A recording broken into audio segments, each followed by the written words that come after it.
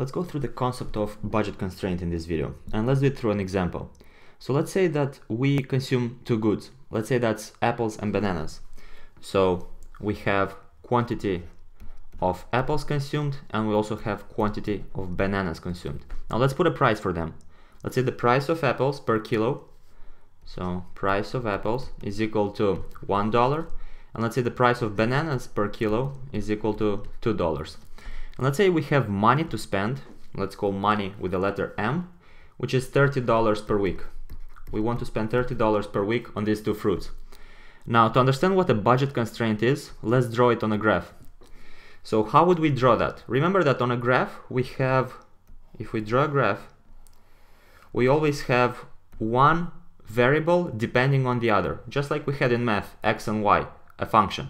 So let's say we have a function where we write quantity of apples depends on quantity of bananas. So we want to write apples in terms of bananas. Let's see how that works out. So to do it, we must have a line. And remember that the line has the following shape. The general shape of a line is that we have an intercept, a slope, and an independent variable.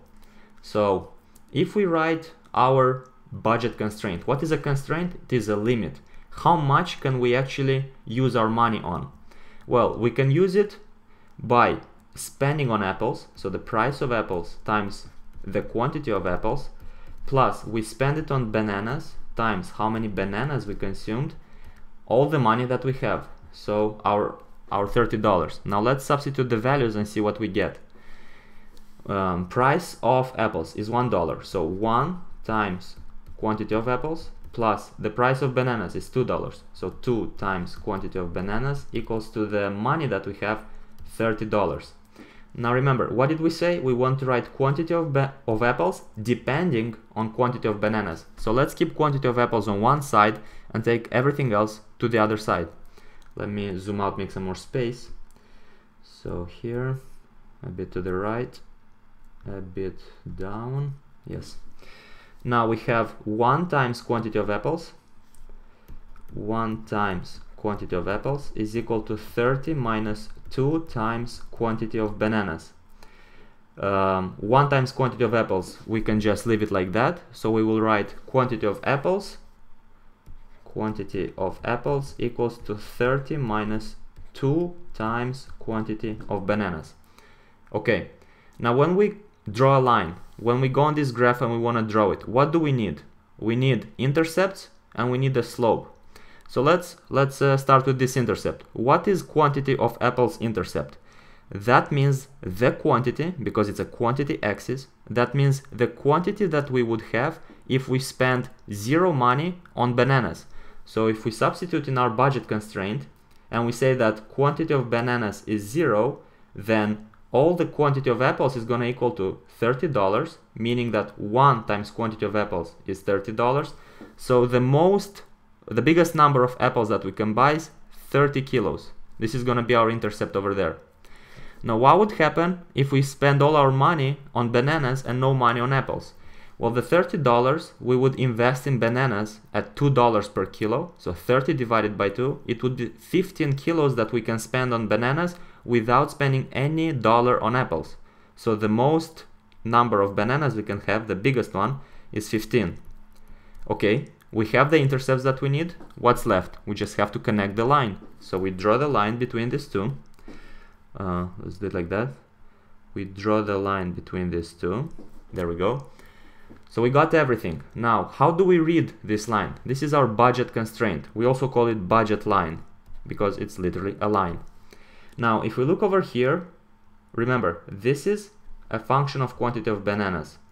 Now, what was the coefficient? What was this? What was the b, if you remember from math, from lines? This is the slope. This is the derivative. This is the rate of change in the quantity of apples relative to the rate of change in quantity of bananas. Now that's very mathematical. What it means? It means that if we want to have one more kilo of banana, if the quantity of bananas increases by one kilo, that means that the quantity of apples decreases because the slope is negative. It is decreasing by two kilos. So this goes one and this goes down by two. And does it make sense? Well, think of it. If we buy one more kilo of bananas, we pay two more dollars. Because we pay two more dollars on bananas, we're not paying those two dollars on apples. And on with those two dollars, we could have bought uh, two kilos of apples because it's just one dollar per kilo. So I hope this makes sense. The slope shows the opportunity cost. It shows what we're giving up to get one more kilo um, of bananas.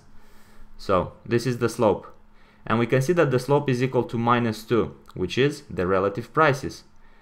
If we take it uh, mathematically, that would be minus price of banana divided by the price of apple.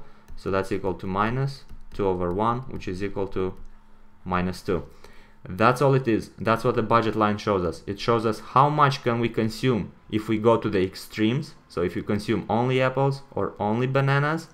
And then the slope shows us the trade-off. It shows us how much do we have to give up in terms of buying one more of the other unit. So by buying one more kilo of bananas, we have to give up two kilos of apples. I hope this makes sense. We are done.